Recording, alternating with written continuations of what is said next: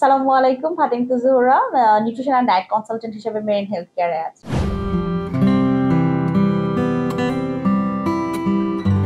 এখনকার যে একটু ভয়ের ব্যাপার যে অসুখটা নিয়ে আমরা সবাই খুব ভয়ে এবং দ্বিধাগ্রস্ত ভাবে আছি, সেটা হচ্ছে ডেঙ্গু। ডেঙ্গু নিয়ে একটু কথা বলব। ডেঙ্গু আমরা জানি এক ধরনের জ্বর, সাধারণত এডিস মশার কামড় দিলে ডেঙ্গু হয়। ডেঙ্গু কীভাবে প্রতিহত করা যায় আমরা এই সম্পর্কে অলরেডি অনেক কিছু জানি যে আমাদের বাড়ির আশেপাশে পরিষ্কার রাখতে হবে। কোথাও পানি জমে থাকলে পানিটা ফেলে দিতে হবে এবং সবসময় মশারি ব্যবহার করতে হবে।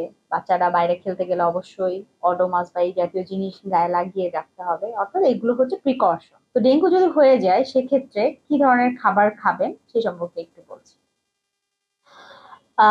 সাধারণত যে কোনো ধরনের ফেভার হলেই আমাদের ওজন পাঁচ থেকে দশ পার্সেন্ট কমে যায়। আমাদের যে টোটাল বডি ওয়েট সেখান থেকে যখন ওজন রিডিউস হয়ে যায়, তার মানে সেটা আমাদের রিকভার করতে হলে আমাদেরকে এক্সট্রা ক্যালোরি গ্রহণ করতে হবে।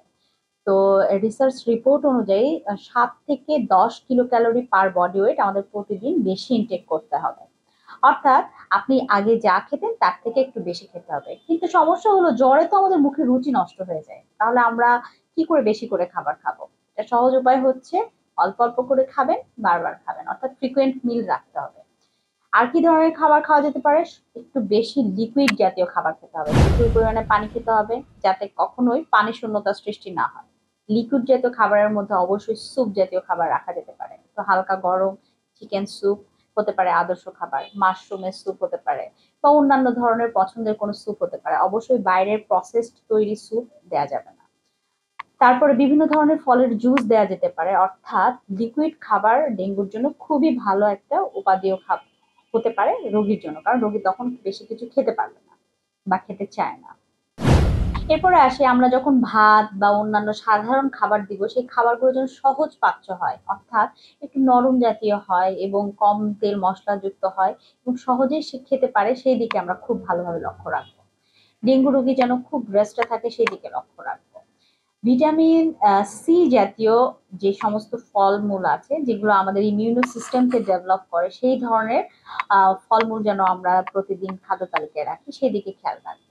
যে সমস্ত শাকসবজিতে প্রচুর পরিমাণে ভিটামিন ই অর্থাৎ অ্যান্টি অক্সিডেন্ট আছে, সেই অ্যান্টি অক্সিডেন্ট সমৃদ্ধ খাবার আমরা দেওয়ার চেষ্টা করব। অবশ্যই চেষ্টা করব বাইরের কোনো খাবার না দিতে। আর ডক্টরের পরামর্শ অনুযায়ী ডক্টর যে যে ওষুধগুলো দিবে, সেই ওষুধগুলো সঠিকভাবে দেওয়ার চেষ্টা করব। যে আমাদের যে বেসিক যে খাবার, যেমন ডিম, দুধ, মাছ, বাদাম, এই জিনিসগুলো কিন্তু আমাদের অবশ্যই খাদ্য তালিকায় রাখতে হবে।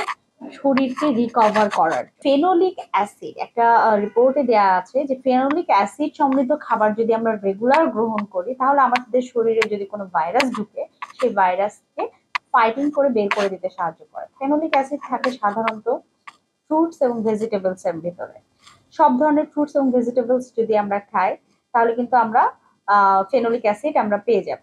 এবং বিভিন্ন ধরনের স্পাইস যেমন আদা রসুন এই ধরনের স্পাইস আমরা পাবো। এখন আদা রসুন আমরা দেখা যাচ্ছে কুকিং প্রসেসটা আমাদের আলাদা। আমরা অনেক বেশি মশলা কষিয়ে রান্না করি। সেভাবে না করে আমরা দেখা যাচ্ছে রান্না শেষ করার আগে একটু কাঁচা রসুন একটু কাঁচা আদা একটু দিয়ে দিলাম বা খাবার সার্ভ করার ভেতরে।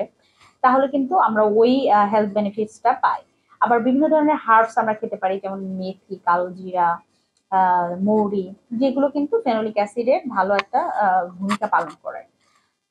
আর একটা রিপোর্টে আছে, জিঙ্ক এবং কপার।